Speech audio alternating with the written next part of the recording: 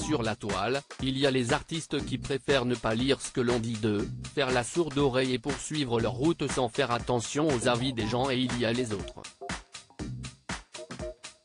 Dont Aya Nakamura. La chanteuse n'est pas du genre à se laisser faire et elle l'a prouvé sur Twitter ce jeudi 2 février. En cause Son concert prévu à l'Accor Arena de Bercy le 26 mai prochain. Si a priori, l'interprète de comportement a tout à fait le droit de chanter là où elle veut, une internaute a eu l'audace de la traiter d'imbécile, elle et toute son équipe. Le même soir, une autre grande star, internationale cette fois-ci, donne également un concert au Stade de France, Beyoncé.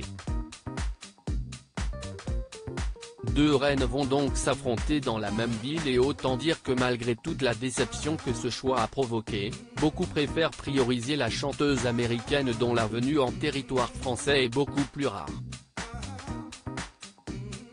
Pour certains et une en particulier, choisir une telle date correspond à se tirer une balle dans le pied, l'équipe d'Aya, ce sont tellement des imbéciles. Comment tu peux accepter de faire un concert le même jour qu'une Beyoncé? Le choix est catastrophique. Ce que cette fan ne savait alors pas, si Estikeya Nakamura épluchait les commentaires sur Twitter et a fini par tomber sur le sien. Il ne lui a pas fallu plus d'une poignée de secondes pour dégainer une réponse bien piquante, digne de la grande Aya, cette pétasse me prend pour phénomène Raven.